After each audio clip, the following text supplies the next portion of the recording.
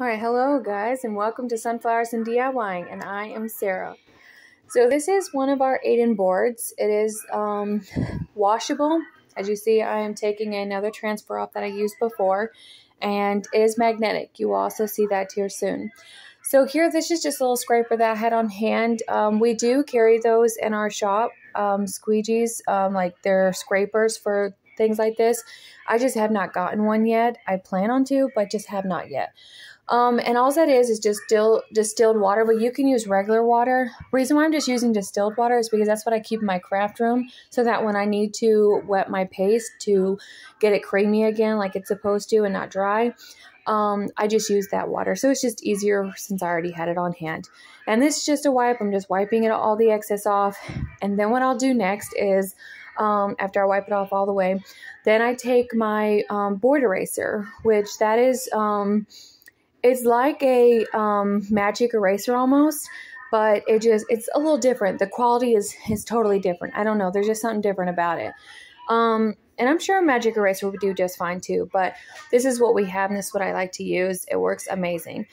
So what this board eraser does, it is going to help take off the, um, I guess, the extra layer that's underneath that that shadow part that it leaves behind, and any extra excess of that stuff. And these are also amazing for transfers. Um, if you get transfers, I highly recommend getting these board erasers. They are wonderful.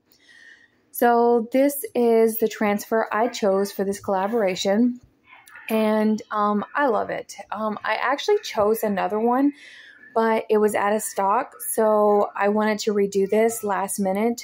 So I went ahead and redid it on Sunday night and um, yeah, so I've had a lot of issues with this video. And I'm just going to say it front. I am so sorry that you will not be able to see um, most of the footage. I have no idea where it went. I have looked. I have looked in the trash. Uh, if I could go to cyber and look, I would. Or wherever these things go. But I have no idea where it went. And I am sincerely sorry. Um, but here I just was fuzzing it with our fuzzing cloth, which I recommend those. They are very, very nice to have. They help with the fuzzing. They help with even cleaning your transfer, like drying and everything when you need to use it over and over. Like me, I had to use it like four or five times, and it really helped with drying. So you saw me take my hand, just scraping it over, rubbing it gently over my transfer. That is to make sure that there's no air bubbles and no extra fuzz clumped up. So I use pe pesto and candy apple and then shimmer gold. And this is how I made this transfer. And then I just made that bow from what I had. So this is a palette sign that it was given to me. And I just took my storm and I just watered it down and just dry brushed it on top of that. And then I just used the bottom part of the transfer that I had picked. And I just put a picture of my children on there. And this is how this one turned out I do hope that you guys get inspired, even though you don't see the full complete footage, that it still inspires you to make beautiful decor pieces for your home. So then this one's really neat. This one's very versatile. You can use this just about anywhere. So all this is is a glass, a piece of glass from a picture frame. So I've already used this once. I cleaned it off, and that's the beauty about chalk paints chalk paste. You can wash it off and reuse it, especially on items like this, like glass and our chalkboard surfaces or Dollar Tree um, chalkboard surfaces if it has that that chalkboard um, to it. So anyway, again, I'm just fuzzing it, and then you do need to fuzz it a little extra to make sure that there's not so much sticky because it's going on glass.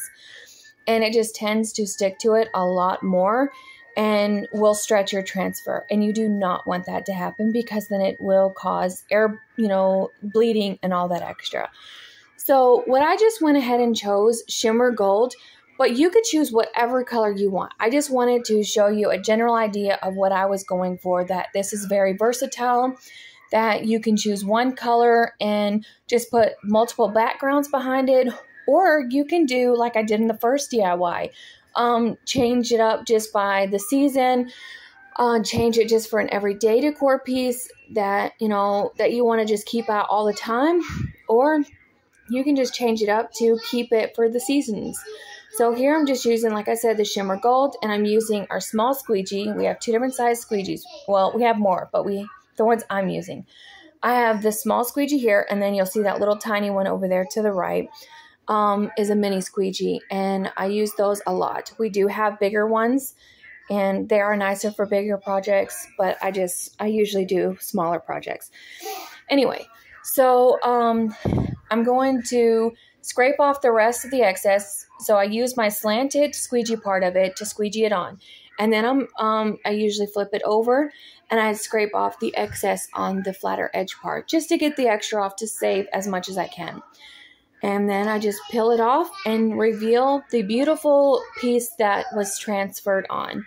That beautiful design that transferred to my surface, which is the glass. And here it is. So now, like I said, this is just an old picture frame that I had and um, actually got out of the thrift store. And I just upcycled it. I used scrapbooking paper that I had on hand from Hobby Lobby last year and then some other scrapbooking paper that was given to me. You can use whatever you like. If you had wrapping paper or if you have um, anything, uh, scrapbooking paper, wrapping paper, all those fun stuff, you could use it. Um, that was hearts on that one. And then I changed it out and I put a couple other ones in there just to show you the versatileness of it. The just how how you can just reuse it. Um, you can even change out the font oh, this, I realized that my hearts were upside down, so I fixed it. But how you can just um, change the just the colors behind it and see. I know you can't see it as good, so white probably would have been better, but still, you get the idea of what I'm trying to go for. And then here I just use some buffalo check because I love buffalo check, red or black, white, all those.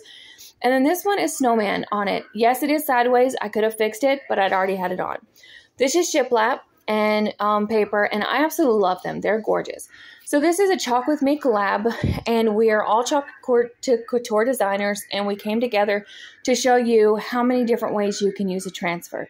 This is a Dollar Tree canvas with Dollar Tree um, tissue paper Mod Podged on. This is also one of our boards, uh, palette boards, and I just did this. My husband added the handles on for me, and bam, you have a beautiful tray.